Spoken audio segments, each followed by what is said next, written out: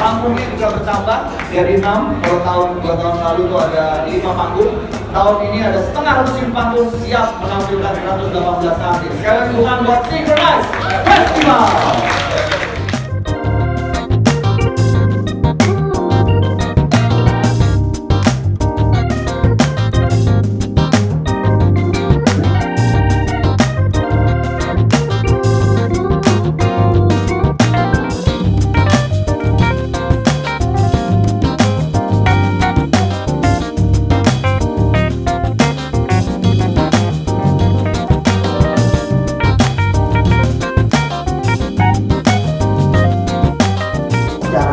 exposure kita berjalan sesuai harapan kita ya gitu. tapi secara secara pengunjung itu pengunjung kita berharap lebih dari itu nah yang gue lihat pas saat kita mengundang Soneta di tahun pertama itu kita melihatnya kayak belum semua orang bisa menikmati Soneta di tahun pertama kayak gitu. itu salah satu alasan kita mengundang Bang Haji dan Soneta di tahun ketiga dan kita pengen pengen semua orang tahu seperti apa sih nih legenda dangdut Indonesia gitu. Happy lah ya bahagia.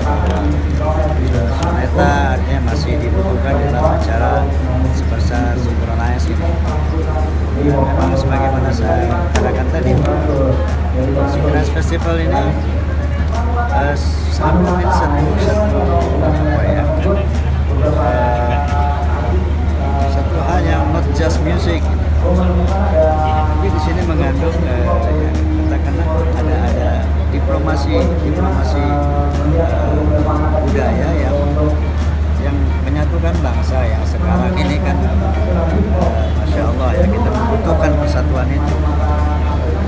mudah-mudahan dengan dengan Festival yang memang dari aneka genre ini bisa menginspirasi perbedaan-perbedaan yang ada. Kita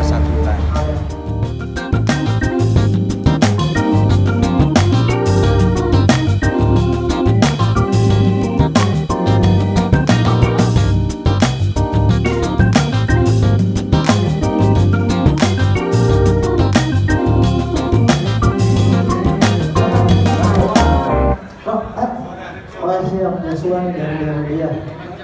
Ada lagi nggak sih?